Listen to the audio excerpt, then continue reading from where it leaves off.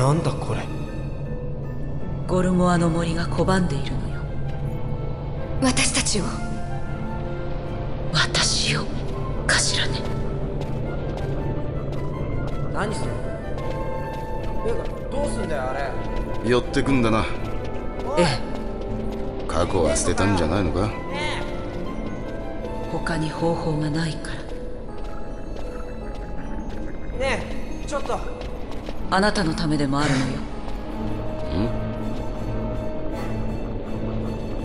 焦っているでしょ。浜関がそうさせているの。あなた意外と顔に出るのよ。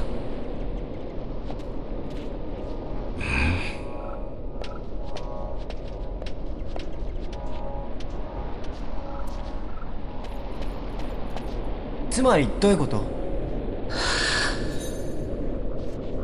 こういうことよ。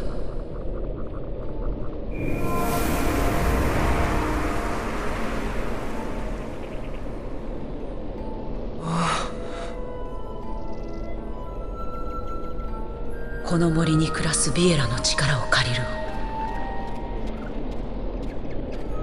もしかしてここってフランの？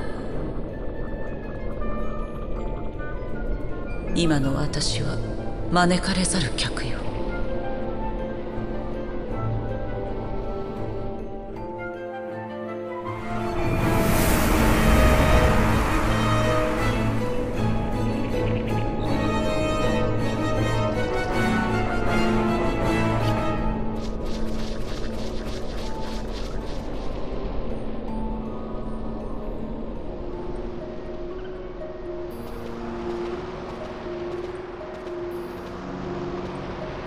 この先の里にミュリンという子がいるわ。呼んできて。私が行かなくてもミュリンなら分かってくれるから。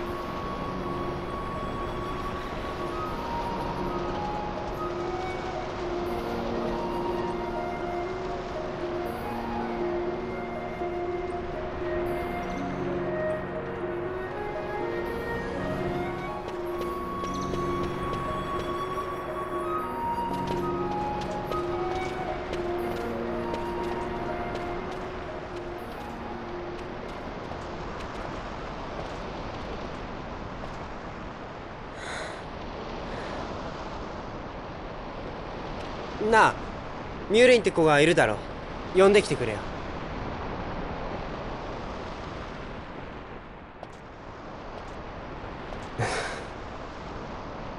早々に立ち去れ。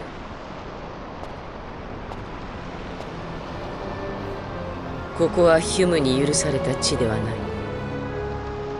ミューリンに会えたらすぐ出てくよ。会えるものか。会わせてくれるまで出ていかないからなふ んいいよ。勝手に探すから。ほう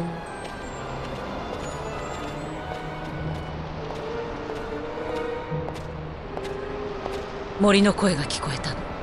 この里にミュリンはいないわ。ヨーテあの子はどこ？なぜ尋ねる？あれの行方を告げる森の声ビエラなら聞き取れるはずだが。聞こえんのか？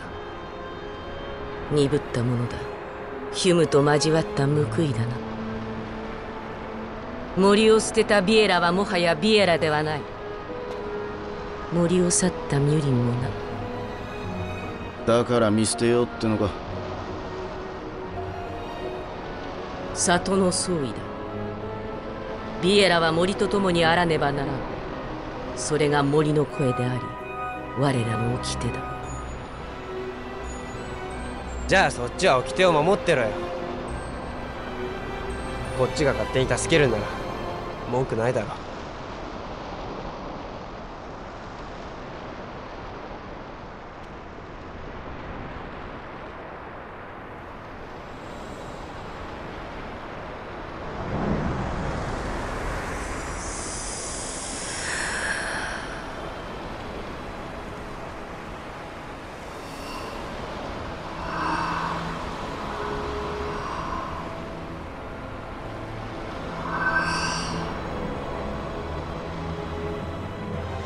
ミュリンは森を去って西へ向かい黒金をまとうヒュムどもの穴蔵をさまよっている。それが森のささやきだ。ビエラが森の一部だとしても森はビエラの全てではないわ。その言葉50年前も聞いたな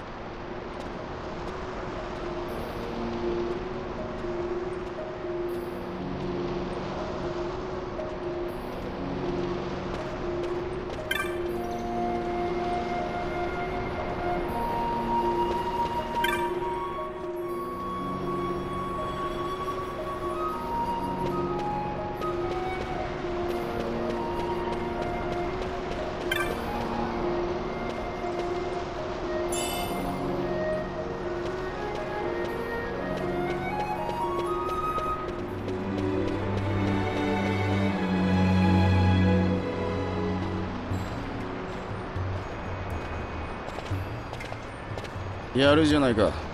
あんなのから情報を引き出すとはね。さてヒュムの穴とか言ってたが。バンクール地方のヘネマ石港でしょう。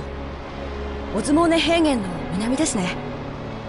あの一帯は我が国の植民地なんです。軍もいるでしょう。それがどうした？行くぞバン。あのさ。ん？さっきほらヨテが言ってたろ。その50年前がどうとかって。それで？フランって何歳？